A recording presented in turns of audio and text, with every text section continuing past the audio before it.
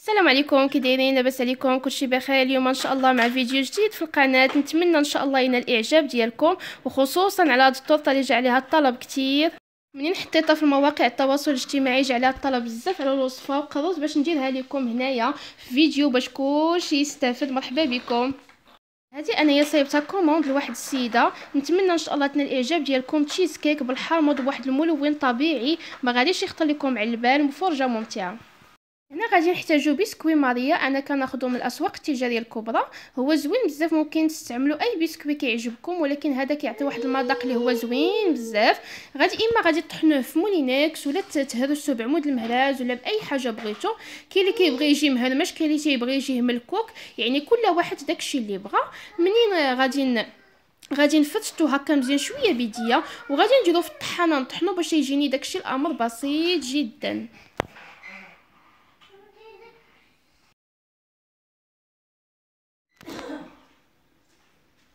هانتوما كيف ما كيبان لكم ماشي كيطحن بزاف.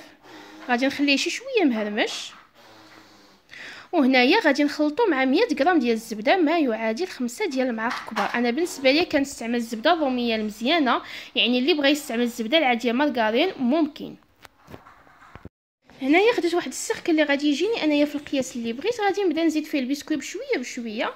يعني القدر اللي بغيتو ممكن تكملوا ديك 250 غرام ممكن ما تكملوش على حسب داكشي اللي بغيتو.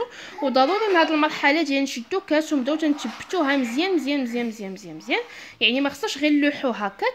من بعد غادي نخشيها في الفريغو ونخليها تجمد.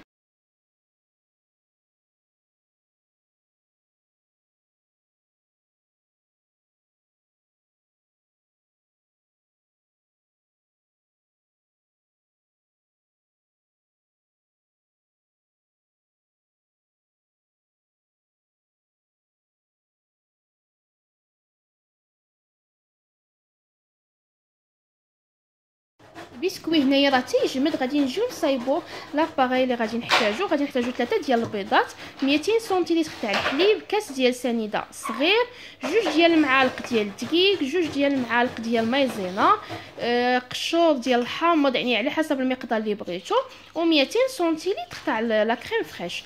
وجبلي ونص ما يعادل 250 غرام ديال جبلي. ممكن تستعملوا ماسكاربون اللي بغيتو. وغادي نديرو هاد la pâte ديال ديال yuzu هي تاع الحامض. اختيارية. هنايا نسيت ما ذكرت لكم واحد نص كاس تاع عصير ديال الحامض ما مزيود فيه لا ما لا والو. غادي نبداو بسم الله. غادي نديرو البيض هو الأول يطرب ضروريه مع هاد المرحلة. غادي نزيدو سنيدة. وغادي نطربوا البيض مزيان حتى يولي اللون ديالو بيض. ما غاديش يبقى هكاك صفر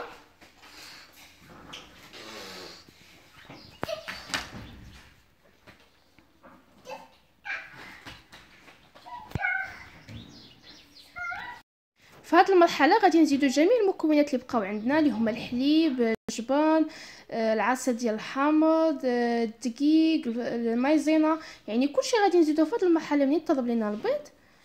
كيف ما كيبان لكم.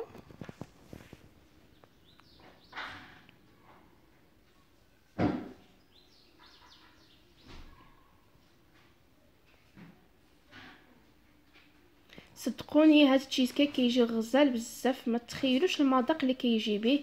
نال الإحسان الجميع والله العظيم.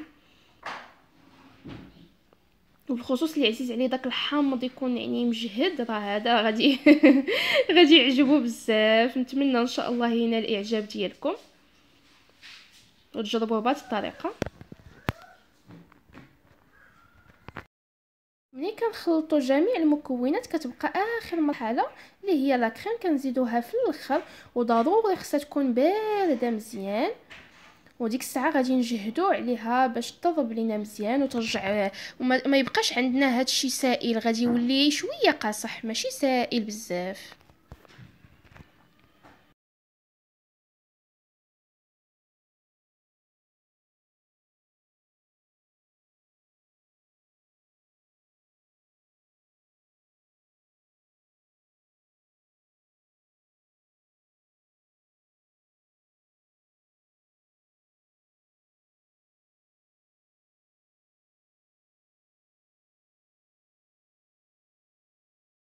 من بعد ما وجدنا la crème والبسكوي غادي يكون برد مزيان ضروري خصو يكون مجمد. غادي نشدوه وغادي نديرو هذيك غادي نديرو داك ال cercle فوق واحد الكاريت كويس واحد papier cuisson باش ندخلوه للفران وما يتحقش لينا داك le cercle اللي دايرين حنايا من التحت. غادي نزيد عليه غادي نزيد عليه l'appareil اللي صايبنا وغادي ندخلو الحراره متوسطة من الفوق ومن التحت. على هما وما تيطيب غادي نزيدو الطبقة الثالثة غادي نستعملو فيها كاس كبير ديال الماء ما يعادل 200 سنتيلتر ديال الماء كاس إلا روب ديال السكر كاس متوسط ديال الحامض آه قشور ديال الحامض على حسب داكشي اللي بغينا ورقه وحدة ديال الجيلاتين جوج ديال آه الفاني والمكون العجيب الغريب اللي ما غاديش يطيح عليكم على بالكم اللي هو الخرقوم. باش حنايا نستعملو مثلا يعني شي حاجة ما صحياش دوك الملونات راه عارفينهم ما صحيينش غادي نستعملو في بلاصتهم الخرقوم كيعطي نفس ال نفس ال نفس الضوء تيقوني ما كيجيش لا المذاق ديال الخرقوم لا حتى حاجة بالعكس كيعطي لون اللي هو زوين بزاف. جربوه وردوا عليا الخبار. بالنسبة لنا القشور ديال الحامض أنا استعملت معلقة ونص حيت كتعجبني. الحموضة تكون يعني مزيانة.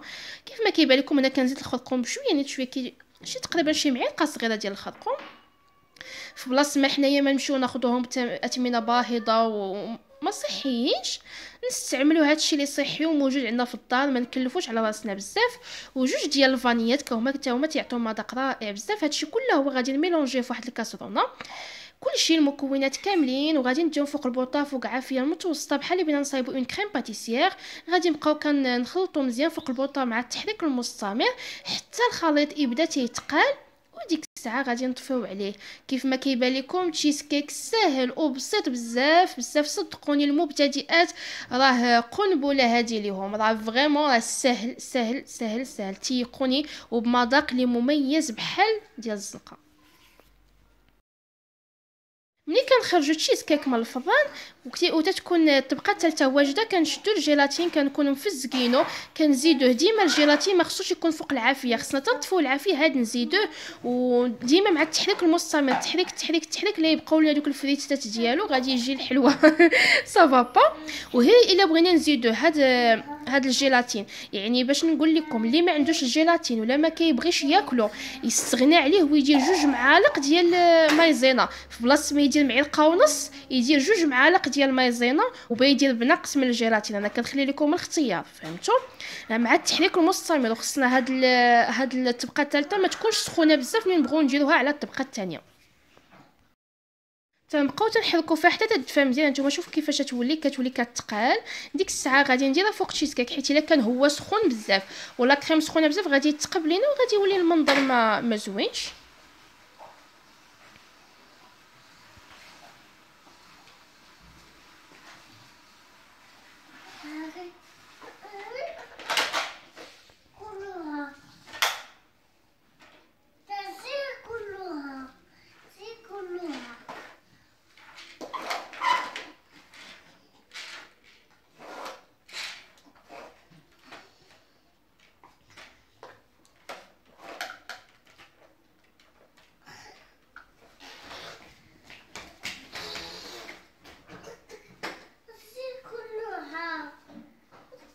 من بعد ما خليتها تجمدات complètement ضروري من هاد المرحلة خصها تجمد.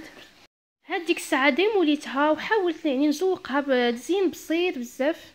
كيف ما بي... كيف ما تيبان لكم كيوي شوية العقيق شوية ديال البسكوي اللي دات في الطبقة التحتانية.